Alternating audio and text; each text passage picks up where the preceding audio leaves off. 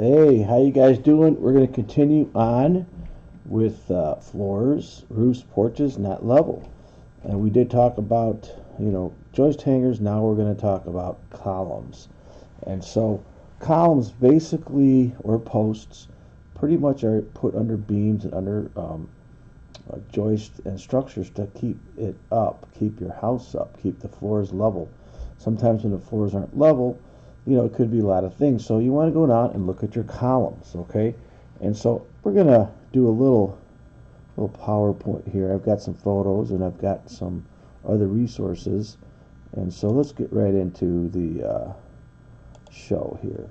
So basically, um, we're going to be talking about columns, okay? And so, you know, you've got columns on the outside, like here you could see, you know, you got three columns, and it's you want to make sure that the structure here isn't cracked. You know, it's it was cracked and they fixed it. It was settled. You want to make sure that the supports are good. Always look at them because that's going to hold up a lot of snow loads and uh, a lot of dead loads. Okay. Um, sometimes columns hold up parts of homes too, like in the older homes, you can see how this wood column, it's a solid wood column, is holding up this whole structure. Okay, it is cantilevered a bit, and if this column starts to settle or rot from insects, then you're going to have problems like that. You know, a lot of times also, um, you've seen homes with these are posts, okay? Sometimes there's piers. Piers are just columns under the porch. So we got piers, posts, columns, okay? So when these become eccentric, in other words, they're not level, then this happens. So whenever you see a column, you know, that's out of plumb, okay? When they're out of plumb, they lose most of their strength. And you get this um, eccentric loading. And so then it starts to settle and crack and kaboom, like you can see right here. All right, so you, you don't want to get to this point. Um, also, columns like this is a column that you saw earlier you know, you got to have bearing. You can see how this is cracked out. And why did it crack? Because they didn't have, it wasn't embedded enough. And it's like being loaded and it kicked out the concrete. So, you know, they could slip out. You want your column base to be properly anchored. Okay, here you can see how this anchor isn't that good. It's actually just a piece of mortar joint. Here's one that moved moved out. Okay, and we can see what's going to happen to this to this uh, structure above. Now, more common column issues are rust. And how does it get rusty? Well, let's talk about this for a minute. Um, usually they don't rust in the center like that. They'll rust at the bottom, and I'll show you some examples here in a second. And the reason they rust is because you've got high indoor humidity, or it's an older, usually an older foundation. In the old days, when they poured concrete floors, they didn't put plastic vapor barriers down, and maybe they didn't put a drainage plane or stone underneath for drainage. So there's a lot of moisture, you know, underneath the homes. And then as the house gets older and the drain tile get plugged up, you get hydrostatic pressure. And before you know it, this column is sitting in moisture, you know, and the column's hollow, right? So it's got air, maybe air, you know, and, and it rusts through, and then the column starts to compress. And sometimes it compresses under the slab. You don't even see it. And all of a sudden your house doors are getting tight, or the floor is not level, you know, and or there's cracks developing. So here you can see the rust coming through, okay? And you can always go to a column and hit it. Hit it with a, a back of a hammer or back of a screwdriver. Should ping. If it doesn't ping, it's like thud, thud, like a, like a, a dead sound. well, the thing's probably rusting through, you know? So you want to hear a nice sound. Now here's here's a hole. I just po poked a hole right through it. And, and you know what's happening here is this comes rusting through. It's weak you know, uh, and, and it's going to start to cause issues uh, in the upper structure. Now here's one uh, that we saw under, it was kind of going into a wall, and we had to get on, on, on our knees to see it, but this one just failed. And a lot of times the columns will just fail onto, onto itself and just keep compressing and compressing. And upstairs, you know, things, the, the doors are opening on their own. You think it's a ghost or something, you know, or maybe maybe the doors don't close anymore. Now you got to shim them and or not shim them, but you got to shave them down and you know make them fit. So always go down. Screwdrivers work really good, and I just tap on them. You tap on those things if they the metal ones are easy. Now, sometimes the older homes will have very long spans. So this house had a basement and a crawl, and what you can see going on here is that the floors upstairs are really deflected because when they built the house 80 years ago, maybe they should have had a beam in there. They didn't put one in, so someone did put a beam in here. What you don't see in this picture is the bottoms of the columns. These are columns that you could buy at your, you know, they're not that expensive, and uh, you could buy them at, you know, at your Lowe's or Home Depots. Now later on, I'll show you how you need to connect these. Now sometimes people weld the tops to them, or they bolt them, they screw them. You know, I'm not sure they're going to go anywhere, um, but they should be they should be fastened on the top. But the more importantly, they should be on a good stable uh, a footer. Now this one here, you could see you know, this is a little eccentric here. They didn't put the column directly underneath the center, you know, and then the bearing plate isn't even connected. It's just a piece of metal, and they just kind of threw that up there, so it's not 100% bearing, so you're not distributing the load. And you can see how the load, the house is cracking the piece of wood they used as a shim. You know, I mean, it's probably not going to go anywhere, but it's still, you, you want to try to make everything level, okay? All right. Now another thing you don't want to do is like here, you can see how now you're now you're supporting your beam on the top of a column that doesn't have a plate. And the reason you want a plate is because you want a little more bearing pressure, a little more surface area that you contact your beam with. This can be a problem, okay? Now, one other thing, people will put columns in, you know, when homes deflect, they're not level, and they add columns in between other columns because they're rusted, they'll put these columns next to the rusted ones, that's fine. Everything helps, okay? But you know, this one here, you know, there's no footer. Now, I've I've inspected 18,000 homes, and I've rarely seen you know a bad column installation crack through a floor, but it, it can happen. So you don't want to do it this way unless you know there's at least four inches of concrete. Same with this one. Here they just put it on a piece of wood. At least they distributed the load. But the problem with the wood is this is an old house. So the concrete floor doesn't have a vapor barrier because they probably didn't invent plastic when they built it.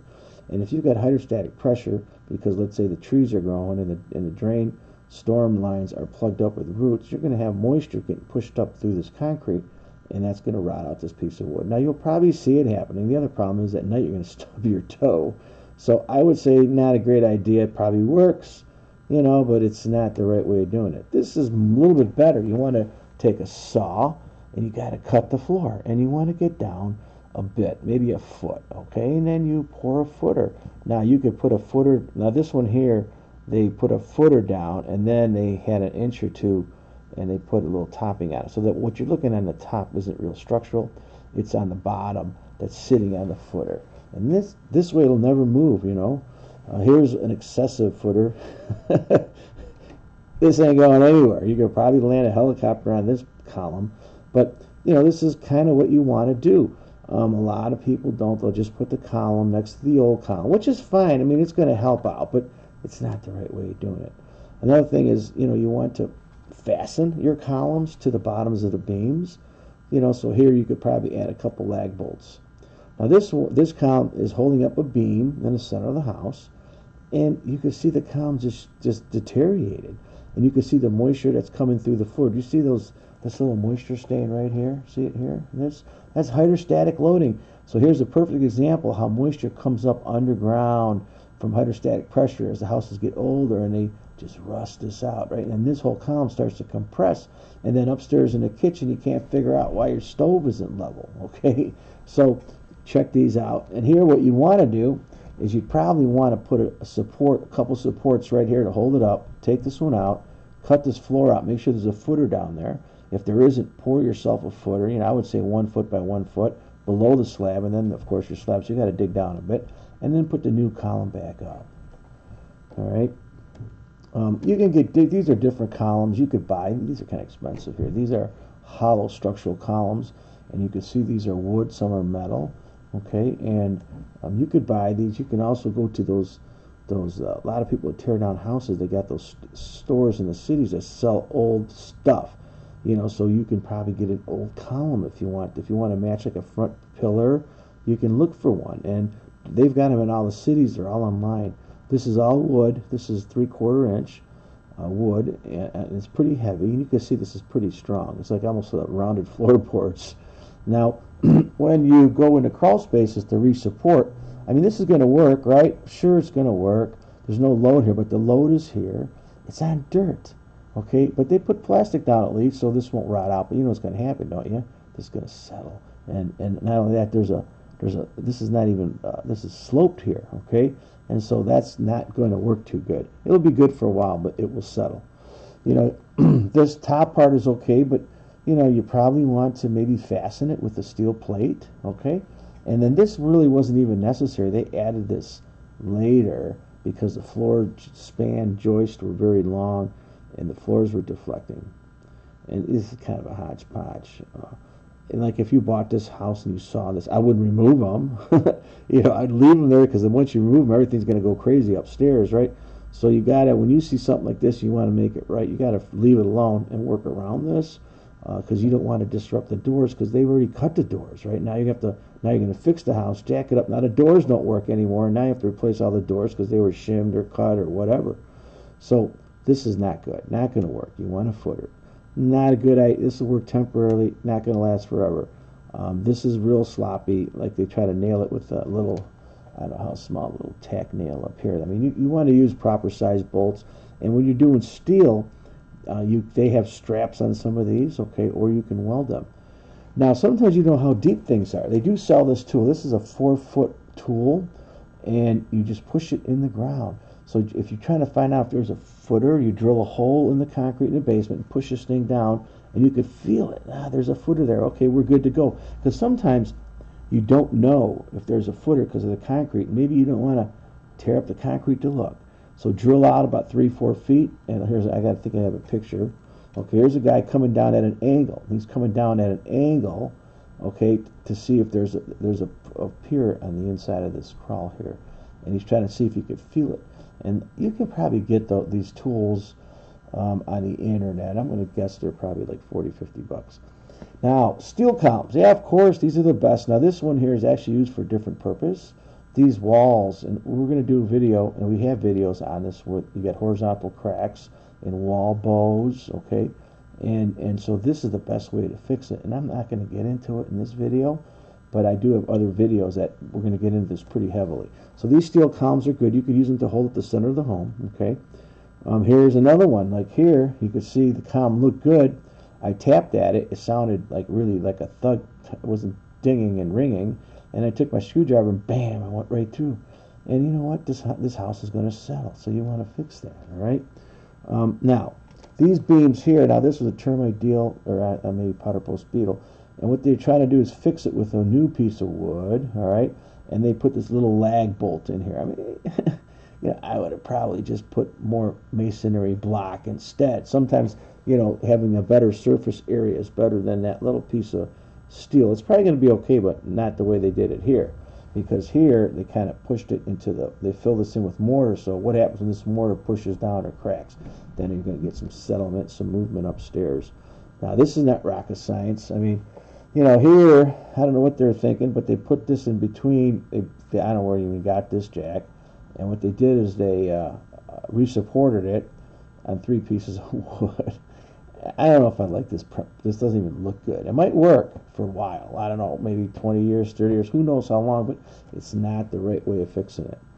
Um, you know, here's something here where, you know, you, you lost some of the bearing plate. You know, it's probably not going anywhere. You still got a lot here but it's starting to compress, and this is pushing up through, and that's why this broke. So when that's happening, it's pushing up through.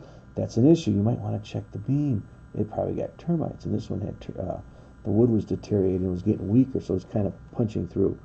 This is the column support that you do on you fix the walls on the end walls, and you know then you do some lateral supporting here. But we're gonna we'll get into that in another video, and that's the same kind of thing. Now here, I don't know what they're thinking here, but here they. Uh, they're putting a beam on the end, okay, where, you know, and they're using a column and this thing's twisting and not even sure, you know, if you don't know how houses work and how foundations work and, you know, how the basics of structures, then you want to just get a friend, maybe a carpenter or an engineer and say, hey, wait, this, what are you doing here? This is, this is wrong. There's a million things. How to, I don't know what the problem here is, but I think the, the house was settling and there could be something going on in the back here you know, with a deteriorated sill plate. Maybe they had brick that didn't have weep holes and it was rotting out. So this is a really odd installation. And of course, they put it right there on the ground. You know, we don't know if there's a footer there, okay? Um, this one here, this beam, this is a reinforced concrete foundation, so we know we know that these things have at least a one to two foot foundation. You know, when they built these, just for knowing knowing the form works. This is probably what 20 years old, maybe 30, and we know the footer is at least going to be one to two feet. So a lot of times you can get lucky and place this right next to the foundation and catch that footer that's already being used for the foundation. You know, and you could drill with a hammer drill into the ground, like you know, not right there, of course, off to the side. And if you, if the drill keeps going down, down, down, down, down in concrete, you know you've got the footer. A lot of these columns come with these straps, you know, and uh, you can use those and utilize those. Okay, um, this one here was temporary. Now sometimes they'll use this to when they're trying to fix a wall, so they'll lift the house up and then try to straighten a wall out. Okay, and so we're we're going to look at and you know columns last a long time. Here's a building that you know the building the building fell down, but the columns are standing. Concrete, you know, this is uh, in a basement in a 90 year old building. You can see the whole building above is rotted, but these columns last forever. Concrete will actually get stronger and stronger and stronger over time. You know, the, this is now this is a subway system that was abandoned in like I don't know 60 years in Rochester, and cars are driving up like maybe 10 feet, or 20 feet above this, and these columns are still beautiful. Um, these this is again this is up in Rochester, an abandoned uh, subway system, and they don't even use it but it's still holding up the roads. You know, it's holding up all the freeways, and they've been down here for a long time. They probably these were built, I think, in the 50s. You know, and here's another subway system. You know, that's been abandoned. You can see those columns full of graffiti now. They're sitting there. Concrete and steel last a long time. Even in the churches, you know, our churches are closing up. The glass is falling out. And guess what? The columns are still standing there. Okay, so let's take a quick look at uh, um, let's take a quick look at uh, um, this book I have here, and so in a nutshell, you want to make sure that when you have a column that you got the proper footing below it. Okay, number two, you want to make sure that your bearing is correct, that that that is fastened to the top that you got a good bearing plate. Number three, of course, you want to make sure it's level. You know, if it's not level, it's going to be eccentric loaded, and you're going to have other problems. Here's a, a picture of, of the footing. Remember I talked about the four-inch concrete floor, and we talked about drilling a hole and using that piece of that rod, and you could you could drill a hole here and push that rod down to feel this to see if there's a footer there. If there isn't one there, and it keeps going down, then you're to have to cut this concrete out and pour this footer because you want to have a footer underneath it. Um, there's different types of columns. You know, we talked about we talked about the the wood columns. We talked about the steel columns. We talked about the concrete columns. Um, so, you know, you want to a you want to make sure that the column is not out of plumb. Okay, put a level on it. You want to make sure that it's not rusted on the bottom, the top, or the center.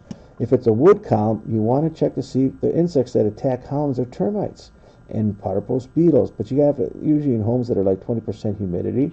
Okay. Um, also, you want to make sure that uh, um, the footing isn't too small; it's too large, and that the uh, the house isn't settling. So we're going to end this right here, and uh, I want you guys to watch my other videos. Please rate and subscribe. Thank you.